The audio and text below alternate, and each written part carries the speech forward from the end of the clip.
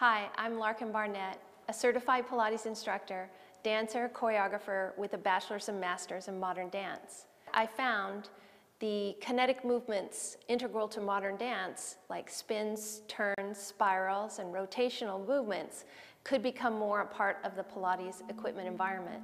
The result are the exercises in this video.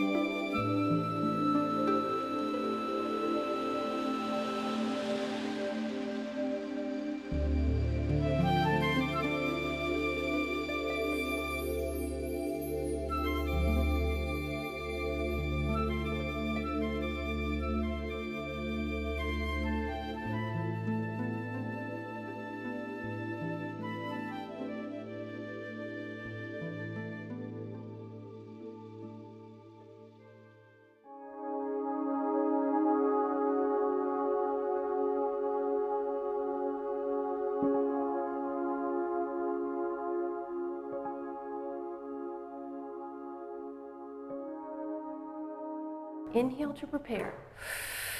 Exhale, développé front. Notice how she uses her arms. Inhale. That helps her to pull up from her center out through to her limbs and from her limbs back to her center. Now she's going second. Now she's really going to have to close her ribs and pull her navel in. She turns to go to the back space behind her. Notice how she replaces her foot centered with the machine.